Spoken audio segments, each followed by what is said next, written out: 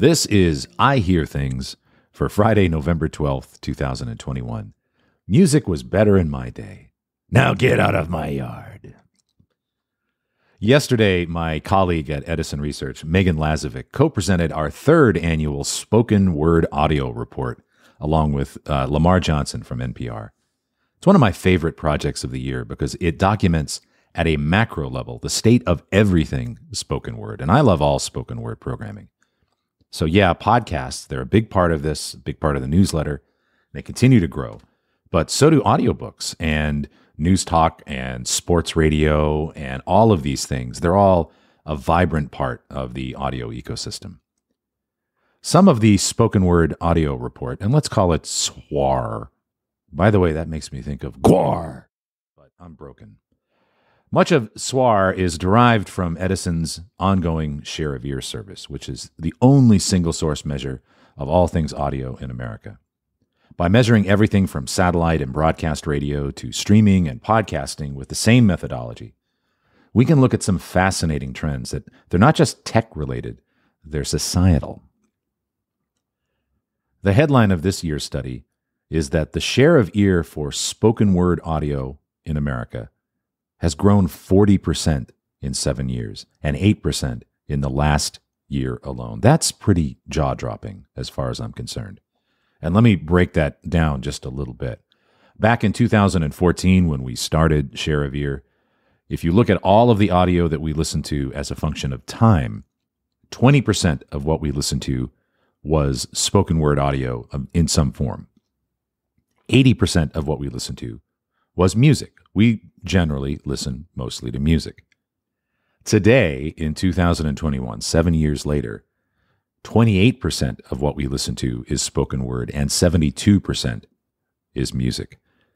Now, if you're a podcaster, you can't help but focus on the spoken word side of that graph, which shows again the percentage of time that we spend on spoken word audio versus music.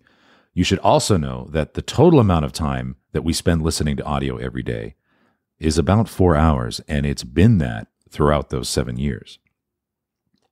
So when we say that spoken word audio has grown 40% from 2014 to 2021, that growth is literally at the expense of music, not by growing the top line of all audio. And while there are multiple components to that share, podcasting's been the primary driver. Now, at this point, I don't question the growth of podcasting and spoken word audio. They're growing. That, that trend is clear. But what the heck is going on with the music side of that graph? The flip side of this zero sum game is that we are listening to less music than we used to. And that even includes our own music, like vinyl and CDs and digital files, all of that stuff. Now, I think we take for granted that podcasting is taking more and more of our earball time. But we should also consider that music might be giving up share actively in some way. Now, the overarching trend in our share of ear data, those trends are actually pretty clear. We are listening to more music on pure play streaming services like Spotify and Pandora, and more music on YouTube. They're still growing. And we're listening to less music on commercial broadcast radio stations. And we're listening to our own collections of music a lot less, actually. But these forces have not offset each other. They haven't broken even. Music is trending down. And here's something truly surprising. When you look at these trends by age, this trend is magnified on the youngest end of the demographic. In fact, the growth in spoken word audio in seven years, 55 plus, has been from 26% of all audio content to 28%, a modest bump. 35 to 54, it's grown from 22% of audio time to 30%, a significant bump. But 13 to 34 has grown from 12% to 26%, more than doubled in seven years. And yes, that is at the expense of music. The youngest demographic in this country is listening to a lot more spoken word than they used to. And I think you can complete this sentence all by yourself. Music and music discovery are more important to us as teens and young adults than at any other point in our lives. And today's young people are turning more and more towards spoken word. The New York Times published a detailed analysis of uh, some Spotify data a few years back. I'll link to it in the show notes. And it showed that people continue to listen later in life to the music that was popular when they were in high school. And by the way, that's something that radio programmers have known for over 40 years. Uh, my former boss, Frank Cody, I think, had a whole chart of this in his office uh, in the 80s. So, what happens though when music listening is so influenced by our high school years? What happens to music listening later in life when the formative years of today's young people aren't quite as musical as mine were? I think that's an interesting question, beyond my ken. A, a, a PhD dissertation, maybe. But, you know, music is just, well, it's just weird right now. I don't think people fully appreciate how important radio really is and really was to the formation of your music taste and the longevity of that. When a great new album hit radio in the 70s or the 80s, the hits from that album, they were metered out. Record companies would work one single at a time, and radio would play that single until it started to fade, and then they'd bring out the next single, if there was one. Having two songs at the same time uh, in the top 40, that was fairly uncommon, and it would it was generally a testament to the power of that first single. It was just hanging on for so long most weeks, if you listen to Casey Kasem or Shadoe Stevens, uh, any of them do their weekly top 40 shows on the radio, you are going to hear 40 different artists from 40 different albums. And more importantly, thanks to radio, there was a simultaneous shared experience around listening to those 40 songs. By the way, that's why we still buy Beatles records. Now that and they're they're objectively great, of course. Now, today, when Taylor Swift or Ed Sheeran releases an album to the streaming services, there's no program director to put a break on your listening. And that leads to phenomena like Ed Sheeran having all 16 tracks from his Divide album be in the top 25 at the same time in multiple countries.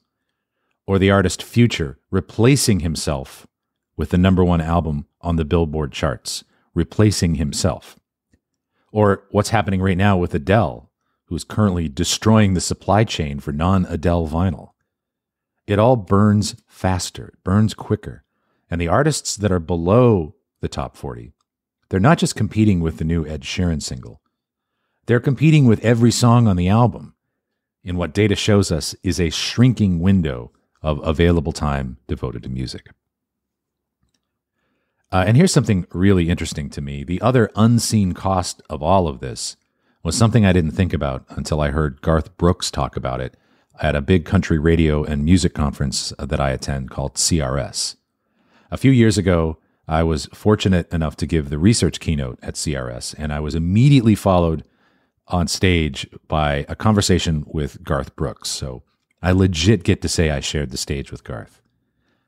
One of the most fascinating things that he talked about was the unseen impact of the change in the music economy from album based to singles based.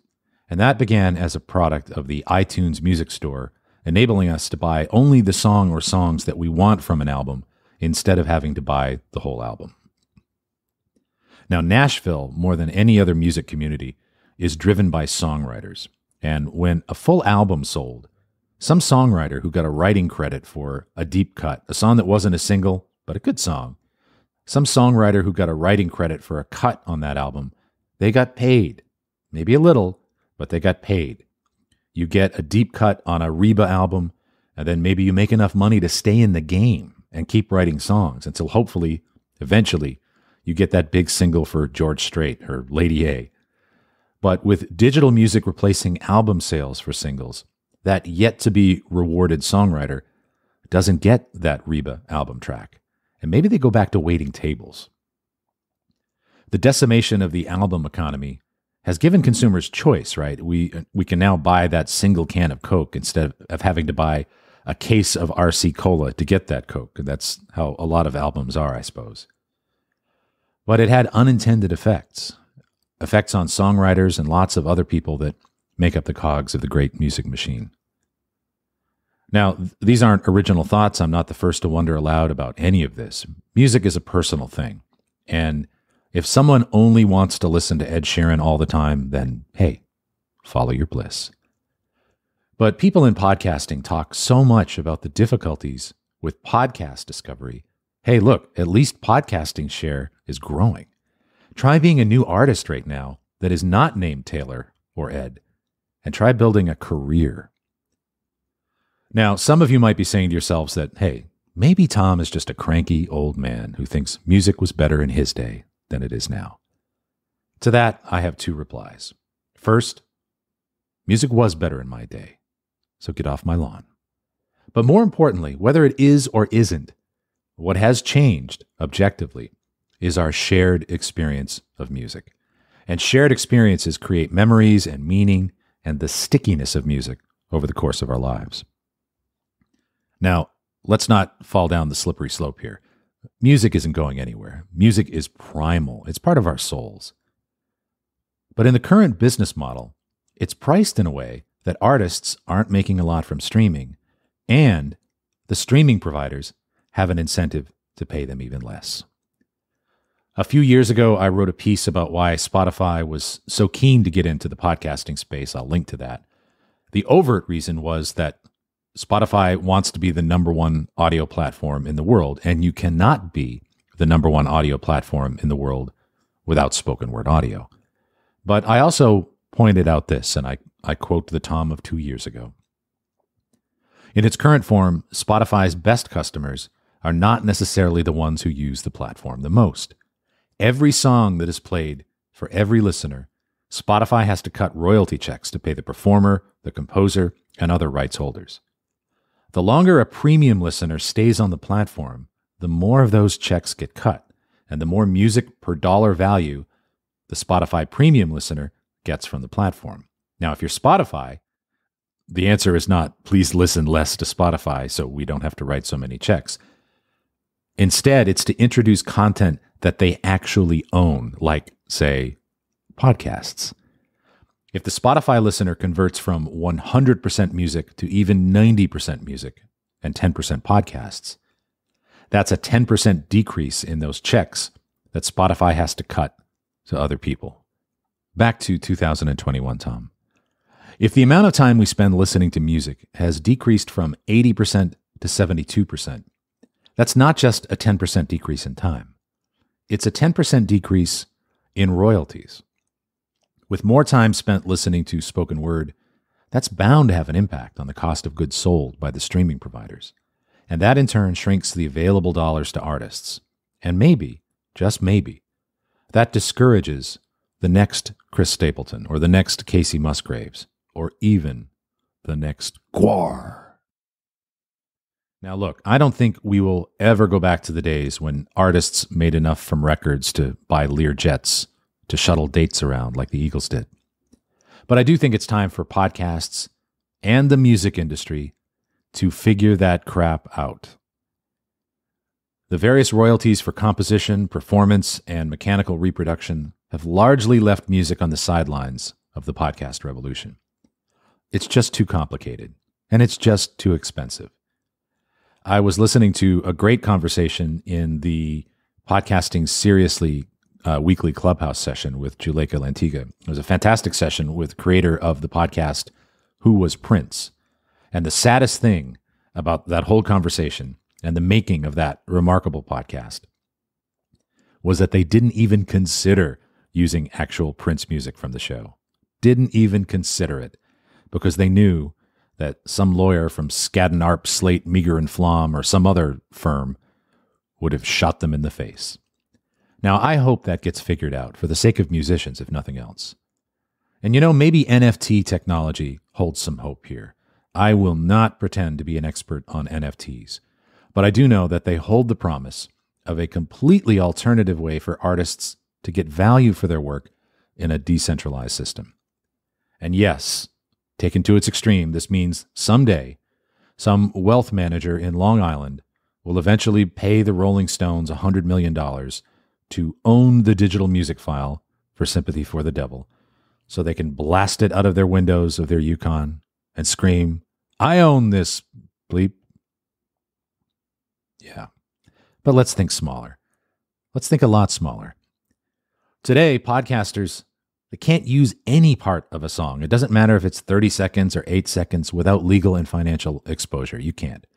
Fair use in quotes is a very very limited concept and it isn't about fairness. So don't claim that. But I would be willing to pay for a small snippet of a song as an NFT that I could use as my opening music, for example. I don't know what song I might use as the opening music to I Hear Things, this podcast, but I would certainly consider paying the artist directly for an NFT that lets me use the 10 second hook of a song in my show. Bill Simmons is certainly paying Pearl Jam uh, to use a few seconds of one of their songs in the Bill Simmons podcast. That's a private deal that he has worked out. Let's make that available to more podcasters. Uh, and NFTs may be the key to that.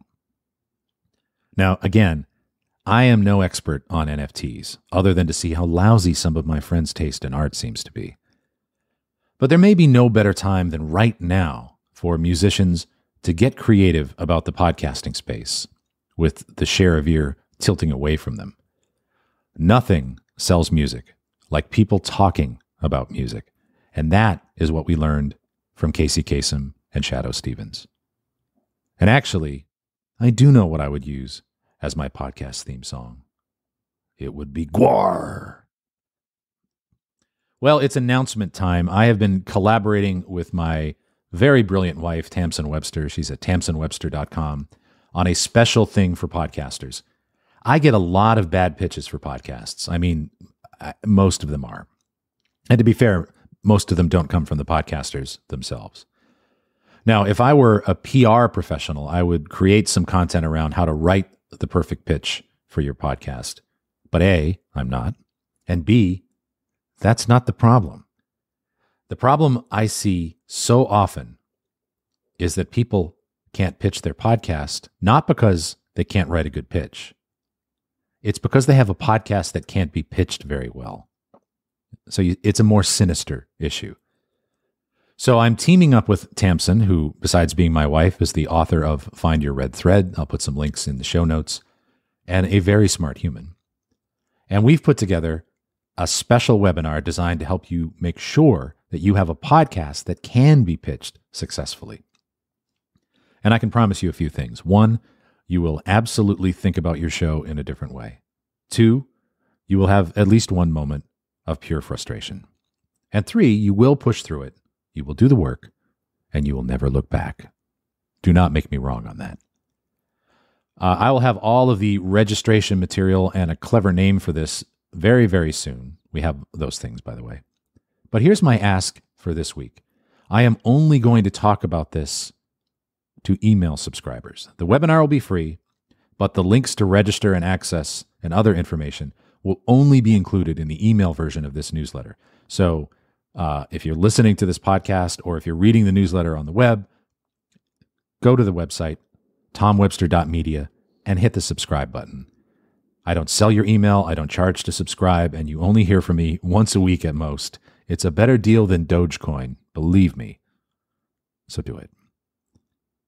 I'm Tom Webster. This has been I Hear Things for Friday, November 12th. I'll see you in a couple weeks.